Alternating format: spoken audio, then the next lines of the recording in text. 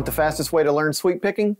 That's what we're covering today. By the end of the video, you'll know the three fundamentals that I give my students in order that they learn sweep picking much easier. Let's define sweep picking by defining what other picking is first. So normally we do alternate picking, which is down, up.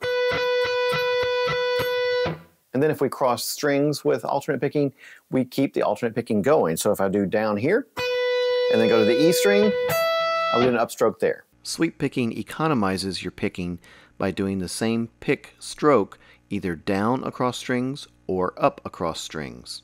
For example, let's use the arpeggio that I used in the intro of this video. It's an A minor 7. So A, C, E, and G. And then we brought it back down to C again and G again. So the whole thing was this.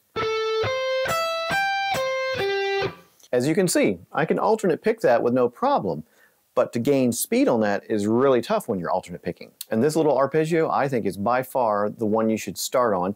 It's worked best for me and my students. You're going to get all kinds of opinions on sweep picking, but this one gives you three notes up and three notes down, so it's very symmetrical, and you can start to develop some of these fundamentals and not have to think about the arpeggio too much. So we're going to be pushing down towards the floor, and when you sweep pick, you do not pick like this. You can see I'm actually individually picking the notes. With sweep picking, you don't want to individually pick those notes. You just want to create rest strokes where we're going to push the pick through. Here's what I mean by that. If I hit the third string here and then go through it, then I'm resting against the second string. Then I go through that one, I'm resting against the first string. And then when I get through that one, I've made it through the three strings that I'm trying to sweep pick, and now I'll turn it around and go back up.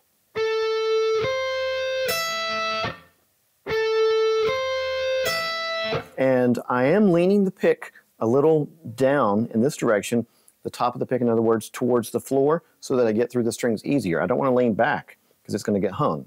So I angle the pick down towards the floor, and it gets through the strings easier.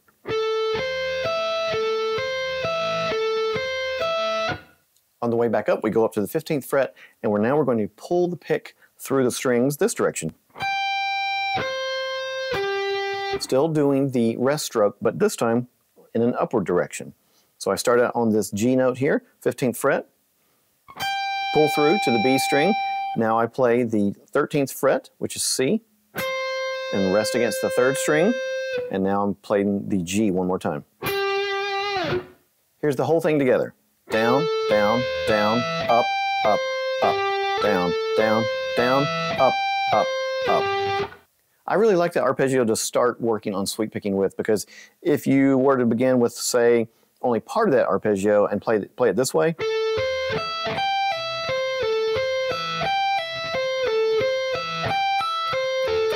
I am sweep picking there, but I have to wait for that pull off to happen. And I also turn directions around to go back down after picking the second string. So to me, it's just not as symmetrical as beginning with three down and three up. And you can think of it this way too, if you're pushing the pick through and trying to get a nice even stroke, I think of it as kind of the paintbrush motion. To me, it gets through the strings a bit easier that way, and that's exactly what I'm doing on a small time level.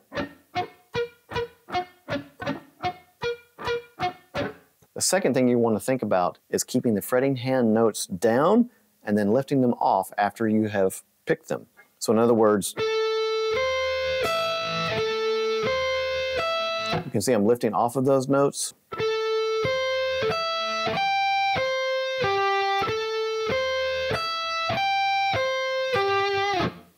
The arpeggio would sound bad if I didn't lift off of those notes and mute them as a result.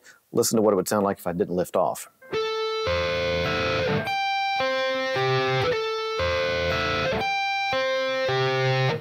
It ends up running the notes one into another, and the whole point of sweep picking is to play individual notes. We may be playing a chord here, but we're arpeggiating, and we want to hear the individual notes, not them bleeding together. That may be the trickiest part for people is to simply get those notes to mute. Once you get it down, it's really not that hard to use when you sweep, but there is a learning curve to it, so you want to go through really slowly and make sure that you're getting the notes separated. The third thing you want to consider when sweep picking, at least for me, and all of these things are my perspective, of course, you're going to find a lot of different opinions on this, but I don't so much move the wrist when I sweep pick. I move the arm a little bit like this and go up and down. Okay? So when I play the first part of the arpeggio, it's a small movement, but you can see my arm started up here and ended up down here. And then same thing on the way back. So it is more of an arm movement.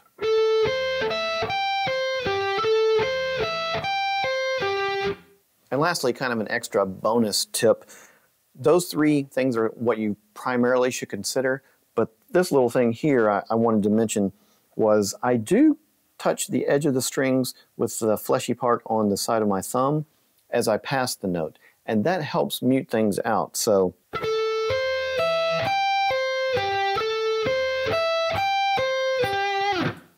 It's never perfect, but I do notice it on some of the notes that I'm going by.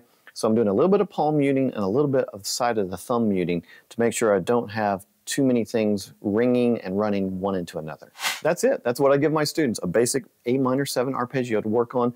It's very symmetrical feeling and they can work on the three points, the doing the rest strokes, lifting up the fingers to make sure they don't ring, and then also making sure that you're moving the arm to achieve the sweep as opposed to wrist motion. If you enjoyed these tips today, please make sure to hit that like button. It really does help my channel. And subscribe if you will. If you want to support the channel, a free way to do it is by shopping through the Sweetwater affiliate links down below. It doesn't cost you anything extra, but it helps support my channel in a small way.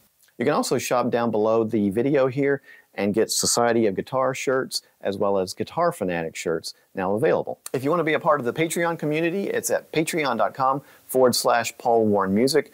All my tabs go up there for not just my long form videos, but also all of my YouTube shorts and Instagram posts. Thanks so much for watching. If you have any comments at all or questions, let me know in the comments below and I definitely will respond. I appreciate it very much. I'll see you all next time.